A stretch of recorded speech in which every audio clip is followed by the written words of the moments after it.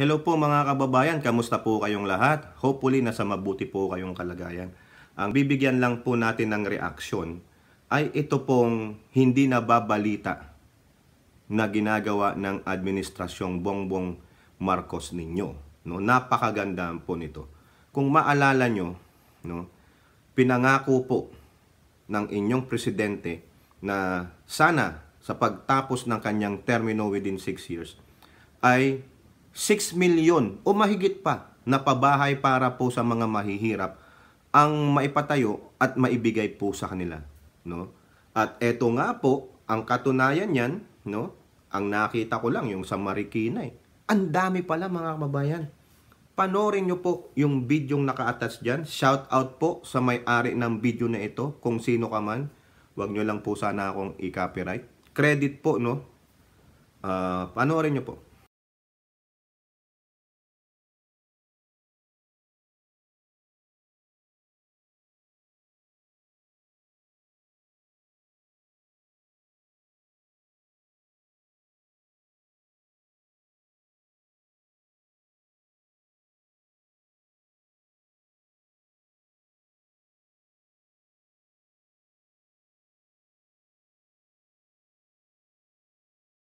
So yan mga kababayan, ang ganda niyan. Ulitin ko, ito yung hindi lumabas sa media. Umaabot na sa 3,000 units ang malapit ng matapos na pabahay sa Deep Paro, Caloocan City. So, ang namamahala po dyan ay ang National Housing Authority. Siguro do under na rin yan ng Department of Housing ni Akusar. No? Whatever is na sabihin ninyo, ito po ang katunayan. Ito yung mga nagsasabing wala sila nakikita ang Marcos Branop administration. Utot nyo. Ito, hindi pa to Marcos Branop administration ang pamimigay, ang pagpatatayo ng libreng pabahay para sa mahihirap. Kasi ang nakikita ng iba ay puro negatismo.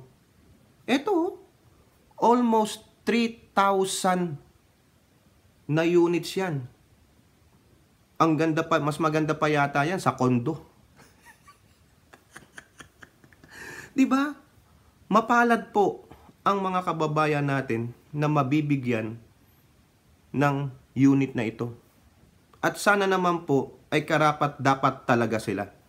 Doon po sa mga magbibigay o mag-a-approve, doon sa mga mag-a-apply, sana po walang connivance. Kasi eto po na naman yan eh. Libre po yan. Walang babayaran ang sino mang ma-approve diyan. Pero kung maalala nyo, di ba mayroong mga talagang mga professional na yung illegal settlers? Yung mga kunwari, mga pulubi na sa kalsada o mga nasa eskwala, squatter. Tapos, pag nabigyan na ng unit o bahay o apartment, siguro titira lang ng isang taon o anim na buwan, then ibebenta. So, pera yon tapos ang gagawin, balik eskwala o squatter kasi hindi kami sanay doon eh. Ganito yung way of life namin dito. Eh. Di po ba? O di kaya babalik sa kalye. Tapos, pag may ganito na naman, a-apply na naman sila under different name. Yun po yung mga tinatawag na is professional squatters. No, pasentabi na lang po ha, hindi po lahat yan ha. Hindi po natin kayo nilalahat, pero may mga tao pong ganyan. Mga utak kriminal. Pagkakapirahan nila ito. Minsan, may mga sindikato dyan. So ang pakiusap natin dito sa NHA or dun sa Housing Authority ni under ni Secretary Acusar, now, i-filter nyo po maigi kung sino ang dapat na mabigyan ng unit dyan. Yung totoo pong nasa laylayan. Kasi meron po dyan talagang mga professional na yung mga kunwari sasabihin nila, ay mahirap kami, pero hindi pala totoo miyembro pala ng mga sindikato. Ibebenta, tapos lipat ulit, kuha. Pera lang, kailangan nila. Libre po yan. So hopefully, eto rin, mababang singil ng kuryente at tubig. Dahil sino ba ang mga titira dyan? Di ba? Mostly, hindi, pasintabi ulit ha, pasensya na po, hindi naman po lahat. Eh maganda trabaho. O di ba? Eh kung puro mga squatter eskwala, ano ba pang trabaho niyan? Construction workers, nagtitinda sa palengke, o mang nangangalakal. Di po ba? O, magandang proyekto ito. Ito ang hindi ipinamamalita ng media? Wala po ako nakakita eh. Vlogger po ito ang nag-video niyan. Kaya pasalamat tayo sa mga vlogger na kumukover ng mga ginagawa ng administrasyong Marcos Duterte. Kasi po ang media, wala po eh. Even though they are already the darling of Marcoses, pero wala. Wala po, hindi lumalabas. Mga social, ano lang, mga vloggers po. Kaya ito, napakaganda niya, no? Ang ganda. 5 to 6 story yata yan. So, ilang building yan? Kung 5 to 6 story building, ilang unit per floor? Siguro 10 o 50 o 60, di ba?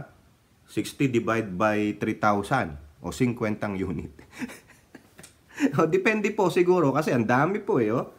Eh, sabi dito sa ano, caption lang po is umabot na ng 3,000 units. So, yun po. Napakagandang balita.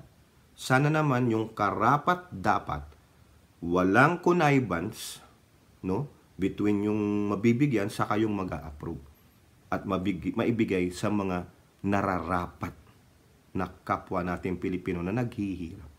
Yun lang po, no? Maraming salamat sa Administrasyong Marcos. Yan po dapat ang binabalita. Kayo po, ano pong masasabi ninyo? Comment down below and I hope to see you on our next videos. Bye-bye. God bless.